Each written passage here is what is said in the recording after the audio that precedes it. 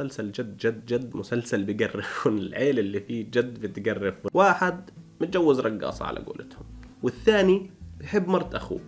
والثالث شمام مدمن وحاطط واحدة معاه في البيت وهي كمان شمامة مدمنة ومش راضين لا هو يترك المخدرات ولا هي تترك المخدرات.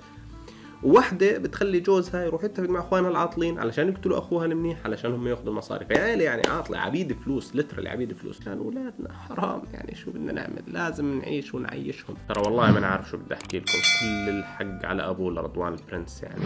مش عمله هاي مش عمله ورط الولد ورط هالابن الملاك المسكين اللي كل الناس بتحبه مع أخوانه اللي وسخين واللي مش مناح بهالورطة السوداء هاي وخلاهم فوق هيك. على عداوة اللي خلتهم يروحوا. يعني يحاولوا يقتلوه ويقتلوا مرته ويقتلوا ابنه وياخذوا بنته ويرموا بنته في هالموقف. شردوا عيلة كاملة يعني جد بهالعملة شرد عيلة كاملة وفرقها فوق ما هي أصلا كانت مفرقة. ترى هو صحيح أنا ما بخفيكم إنه فتحي وياسر وإخوانهم هم كثير سيئين وهم كثير شرانيين بس يعني والله عملة أبوهم هي اللي زودت الطين بلة يعني وهي اللي ورطت رضوان البرنس وهي اللي خلتهم يعادوا. عملة أبوهم تمجيد هالرضوان هذا البار الملاك المنيح ابن العالم والناس هي اللي طلعت. كل هالمسلسل. يعني الله يسامحك يا أبو رضوان الله يسامحك. مش لو خليت الأمور تمشي هيك بسلاسة وبسهولة وزي ما هي وكل واحد يأخذ نصيبه؟ يا عمي المنيح منيح والعاطل عاطل اللي بده يعمل في نصيبه إيش يعمل ومش أحسن كان ما خسرنا عيلة هالشاب الوردي هذا اللي في أول حياته اللي ضيعت عيلته كلها يا زلمة. كان ما شفنا هلا كل هالشعب المصري بيهاجم هز فتحي وبيهاجم أحمد زاهر وبيهاجم بنت أحمد زاهر وأحمد زاهر بطل عارف يتحرك في هالدنيا.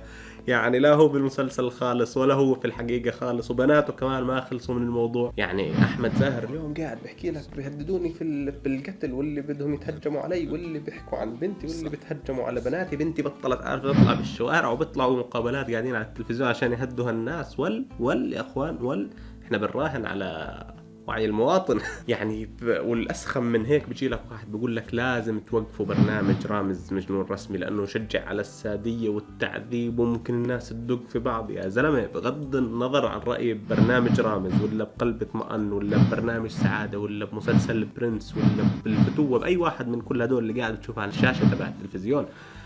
بس جد ولا واحد من هاي البرامج وصل اللي وصل البرنس مع إنه محمد رمضان الكل كان بيهاجمه دائما إنه هذا قاعد بعلم الشباب المصري وهو قدوته وكل الشباب المصري بقلده.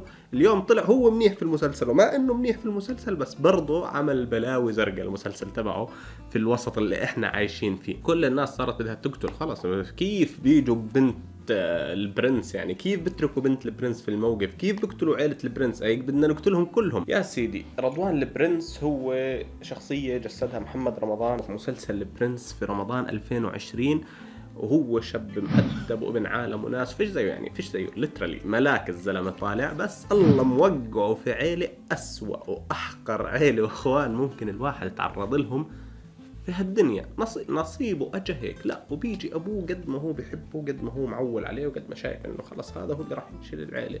قبل ما يموت شو بيعمل؟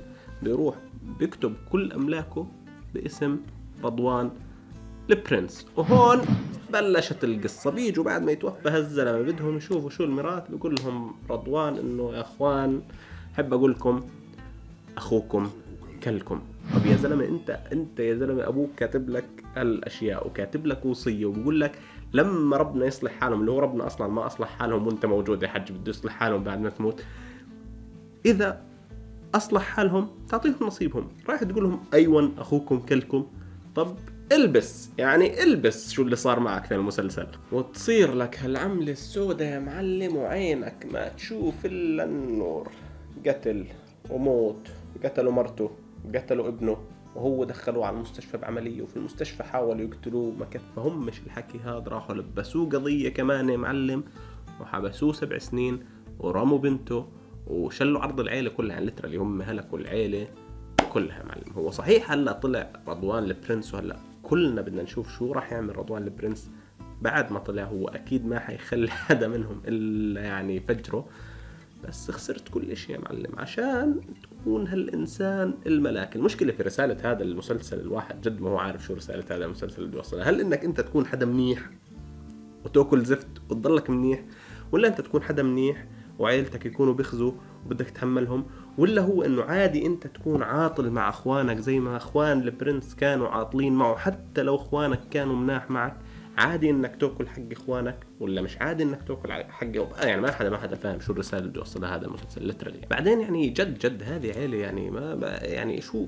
إيش؟ عيلة جدا وسخة. واحد متجوز رقاصة على قولتهم والثاني بحب مرت أخوه والثالث شمام مدمن وحاطط وحدة معاه في البيت وهي كمان شمامة مدمنة ومش راضين لا هو يترك المخدرات ولا هي تترك المخدرات.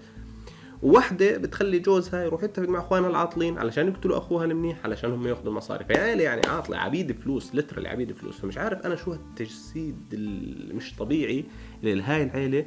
والمشكلة إنه إحنا كنا عارفين أو كلنا عارفين إنه هذا المسلسل أكيد راح يكون ترندي وأكيد راح ينشهر. والمشكلة إذا حدا عجبته شخصية واحد من هذول الناس العاطلين في المسلسل وراح يقتدي فيهم.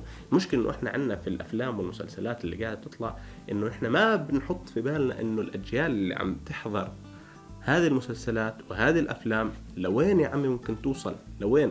يعني هذه مشكلة جد حقيقية في الأفلام والمسلسلات اللي عم بنشوفها واللي عم تطلع على الشاشات. لا والأعطل من هيك الأمين اللي في هالمسلسل اللي أصلا متضايقين إنه هيك الأولاد عملوا في حياة أخوهم لا شاركوا في الجرائم كمان اللي بيعملوهم يعني مش إنهم راحوا ربوا أولادهم ولا راحوا دقوا في أولادهم ولا كانوا ضد أولادهم لا ضلهم ساكتين علشان أولادنا. حرام يعني شو بدنا نعمل؟ لازم نعيش ونعيشهم. كل هذه الرسائل اللي بتبثها هذه المشاهد اللي من هذا المسلسل هي يعني مشاهد لترالي يعني أو رسائل مش صحيحة ومش صحية إنها تنتشر بأفكار ودروس الناس اللي بتحضر هذه المسلسلات خاصة جيل الشباب.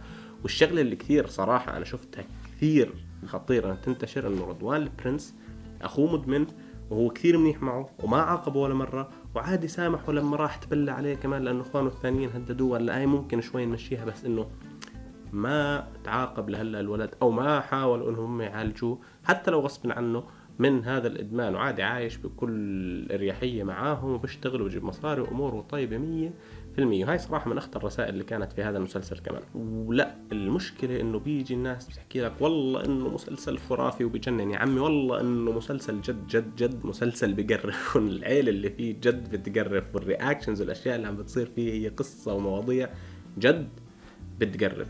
حطوا لنا رأيكم بالكومنتس. خلينا نعرف قديش في ناس حابه المسلسل أو الرسائل اللي عم تنبث منه. حطوا لنا إيش أنتم حابين في المسلسل وإيش أنتم مش حابين في المسلسل. إذا في إشي فعليا مش حابينه في هالمسلسل لهون بقدر أقول لكم يمكن كل عام وأنتم بخير.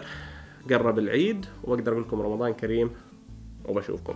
إنه نسيت أحكي لكم شغلة كثير ضرورية إنه جد الله يستر من الناس اللي بتحب هذا المسلسل. كم مسبة في الثانية راح تنزل في الكومنتس.